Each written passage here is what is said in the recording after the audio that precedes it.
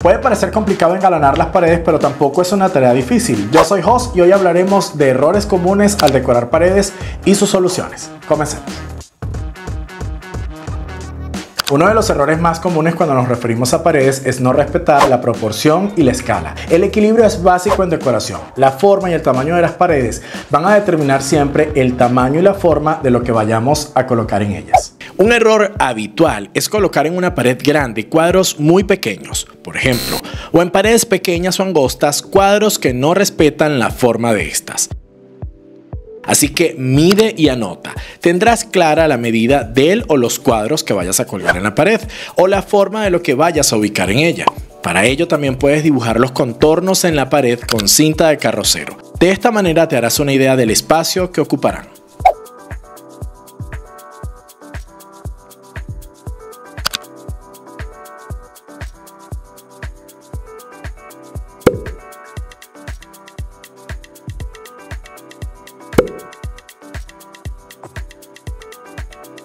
De este se desprende otro muy pero muy común y es no respetar la forma ni el tamaño del mueble que acompaña esa decoración que colocamos en la pared. Con ejemplos lo podemos ver mejor. En el caso de que puedas colocar en el país donde me ves decoración en la pared donde se apoya la cama, esta debe guardar relación con el ancho del cabecero. Si es muy pequeño se va a ver desproporcionado. Host, yo tengo solo un cuadro, ¿qué puedo hacer? En este caso, agrega un par más. Mide el ancho de tu cabecero y que esta composición que hagas o el cuadro que coloques mida aproximadamente dos tercios del cabecero.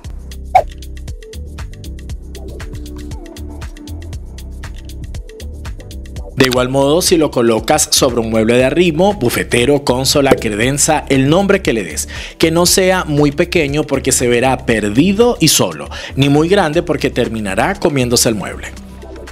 Un truquito que funciona es procurar anclar ese objeto que colocamos en la pared a algún mueble u objeto. ¿Qué quiere decir esto? Que cuando vayamos a colocarlos, hemos de procurar que ambas partes queden encajadas y conectadas visualmente de manera que formen un conjunto. Otro error bastante común es no elegir correctamente el color de tus paredes. Suele ocurrir que el color que vemos en la tienda, el que nos gustó, no queda exactamente igual en nuestra casa. Y eso se debe a la incidencia de la luz natural y la luz artificial, incluso a la hora del día en la que lo percibas. ¿Y cómo podemos hacer para corregir esta situación? Aplicando lo que ya les he mencionado en otros videos, el método empírico, que consiste en hacer pruebas de color. Si en tu país no venden muestras de pintura, entonces corta un trozo de papel, píntalo y colócalo en la pared. De esta forma podrás determinar cuál tonalidad logras cuando refleje la luz. De igual manera puedes colocarlo en diferentes paredes y así analizar si te gusta o no el resultado. También gracias a la tecnología y a todas estas aplicaciones que existen hoy en día, puedes tener el panorama más claro o la idea más clara de cómo quedaría el espacio pintado en la tonalidad que quieres. He aquí alguna de esas aplicaciones. Elegir colores oscuros en paredes con poca entrada de luz también puede considerarse un error, sobre todo si nos referimos a espacios reducidos. En estos casos lo más recomendable es que elijas tonalidades claras cálidas para que la poca entrada de luz se refleje mejor. De esto se desprende el siguiente error y es no tener claro cuál es el efecto que quieres dar al pintar las paredes. Si quieres generar una atmósfera tranquila o más bien dar puntos de color o crear profundidad o ganar luminosidad. Con base en lo que quieras y necesites determinarás el o los colores a utilizar.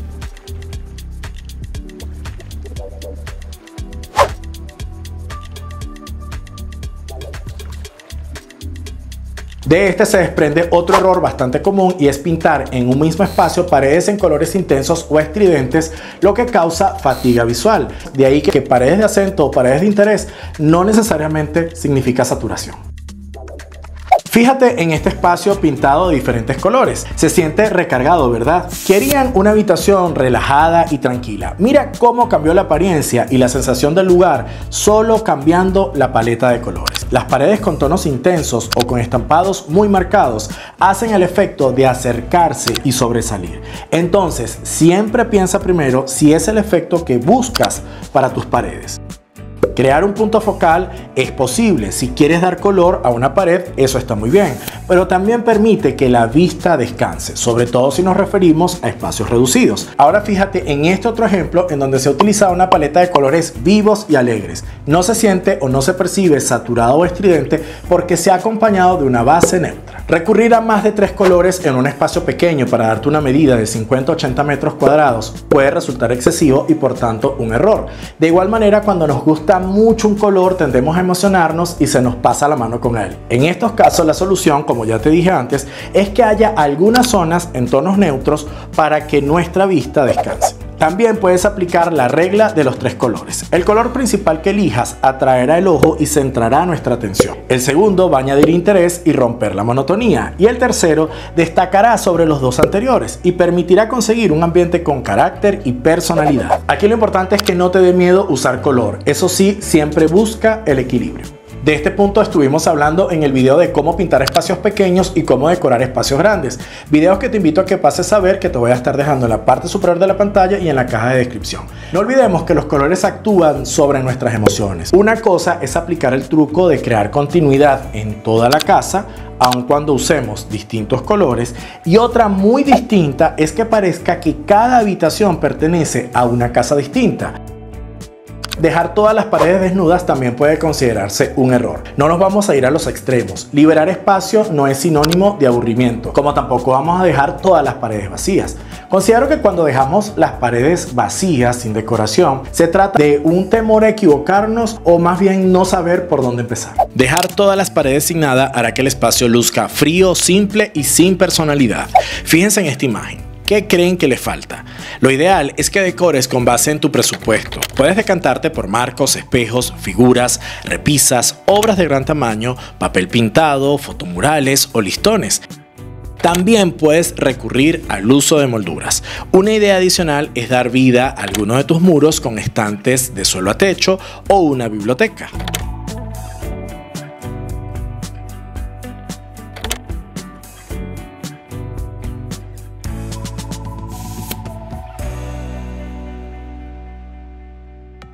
Negarte a colgar un cuadro porque vives en alquiler también puede considerarse un error.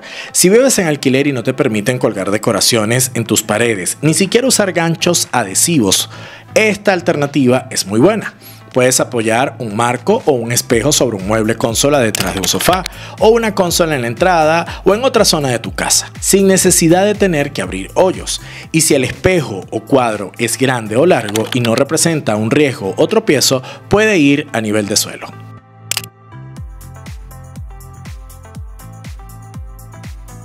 Y aquí quiero hacer un paréntesis porque debemos entender que hay un gran abismo entre depurar o reducir la decoración en un espacio y llenarlo todo de elementos. Cuando nos referimos a paredes no debemos exponerlo todo, porque al contrario de generar un efecto positivo vamos a terminar saturando y creando desorden. Si ves una pared así, ¿qué efecto causa en ti?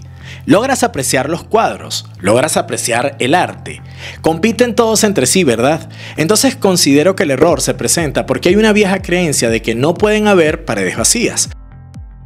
Así como les dije que no todas las paredes deben estar vacías, tampoco todas deben estar recargadas con decoración o con cuadros. De hecho, lo bueno de la decoración es que no es estática, podemos cambiarla cada cierto tiempo. Así que si has cometido este error es de fácil solución. Ahora bien, si me dices, host, pero es que yo tengo muchos cuadros, no me quiero deshacer de ellos, me gustan y quiero exhibirlos, o tengo muchas fotografías y quiero mostrarlas, bien, si te gustaría exponer, por ejemplo, muchas fotografías familiares o de algún viaje en concreto, puedes solucionarlo reservando un espacio en una pared o crear tu propia galería de arte colocando repisas o colocando directamente en la propia pared, pero sin saturar.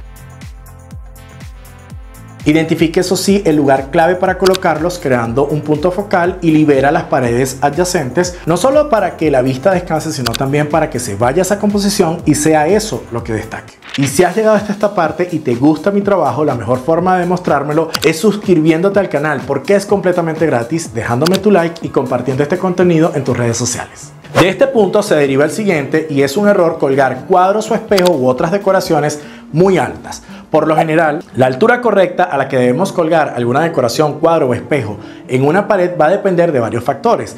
Por norma general, los cuadros deben estar colgados ligeramente por encima de la altura de la vista, ya que lo que nos interesa es que se pueda admirar desde la altura de los ojos. Así que en este caso depende de nuestra propia altura. En segundo lugar, se debe también tener en cuenta la altura del techo de la habitación donde lo queremos colocar, así como el tamaño del cuadro o del espejo. Y si se va a colocar solo, o queremos crear una galería. La medida general o que te sirve de referencia es colgarlos a 150 o 165 centímetros desde el nivel del suelo. Así resultará cómodo verlo por personas altas o bajas. Hay quienes utilizan la técnica de dividir la altura de la pared en cuatro, por lo tanto la altura ideal para colgar un cuadro sería la tercera contada desde el suelo. Ahora bien, yo te sugiero que sigas el método empírico que es el más fácil sin tanta complicación, sin tener que medir tanto. Consiste en coger un trozo de papel, a la medida del cuadro o los cuadros que vayas a colgar en la pared. Marques en él los sujetadores, lo fijes en la pared y te puedas desplazar en distintos ángulos de la habitación hasta estar completamente seguro o segura de que quedan a la altura correcta. De esta manera lo estuve haciendo yo en la transformación de esta sala, justamente estos espejos que están detrás de mí. Estuve utilizando el icopor, los aros de icopor en donde venía la mesa del comedor. Lo fijé a la pared con cinta adhesiva y me desplacé por distintos ángulos del salón hasta estar completamente seguro de que quedaban a la altura indicada. De igual modo puedes hacerlo. Otro error que muchos pasan por alto es dejar las tapas de las brequeras o los tableros de electricidad a la vista cuando no están en buen estado o cuando están pintados en un color diferente al de la pared. Para muchos pueden lucir antiestéticas, así que hay recursos para disimularlos, desde colgar un cuadro encima o revestir la pared con molduras, así se disimula la tapa, o en su defecto se pintan al menos del mismo color de la pared para mimetizarlas. Es cierto y habrás escuchado más de una vez que arrimar los muebles a la pared en un espacio ayuda a que se perciba más amplio. Además, cuando lo estamos decorando debemos tener en cuenta la movilidad en él, pero también es cierto que tampoco podemos exagerar porque si pegamos todos los muebles a la pared podemos caer en el error de dejar un centro vacío sin sentido. Este es un error bastante común en salas o salones. La solución dependerá de cómo sea tu espacio y los elementos que necesites en él. Si es pequeño, puedes separar el sofá y otros muebles de la pared. De esta forma engañas al ojo y hará que se vea más grande. Si el espacio es grande, más aún, porque si todos van pegados a las paredes, no habrá conexión. Dará la sensación de vacío. Otro error que no podía dejar de mencionar es colocar las tomas de corriente o las tapas de los apagadores a la altura incorrecta en las paredes. Aunque puede parecer un tema lógico o puede parecer un tema carente de importancia, créeme que sí porque son detalles que se aprecian. De hecho, en este video que les estoy recomendando hay un tipo de interruptores que hacen que tu casa luzca anticuada y te hablo de las soluciones. Pasa a verlo. Colocar una toma de corriente en la mitad de la pared de la sala o muy alto sin planificación alguna, que más bien hará que se vean los cables cuando conectemos algo, sería un error. Lo ideal es que vayan a 30 centímetros desde el suelo y máximo a 170 centímetros. Por ejemplo, ese toma corriente que va detrás de la TV si está anclada a ella. De igual modo, los conmutadores o apagadores de luz, estos deben ir a unos 110 centímetros desde el suelo y a unos 15 centímetros de la puerta.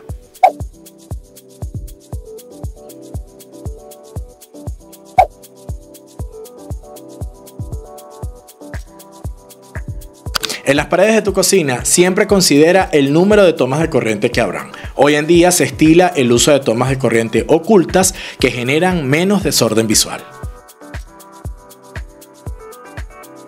Y en el dormitorio sé que muchos prefieren por practicidad que la toma de corriente vaya encima de la mesita para poder conectar allí los dispositivos electrónicos.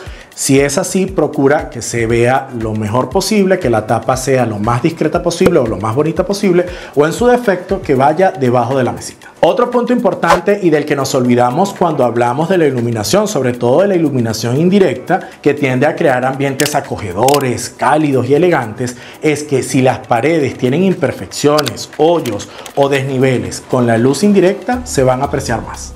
Una solución que no implique obras, más allá de resanar tus paredes o nivelarlas, es cubrirlas con una lámina de MDF, por ejemplo, la del cabecero de la cama. Luego, al pintarla y al estar en contacto con la luz, no se apreciarán dichas imperfecciones.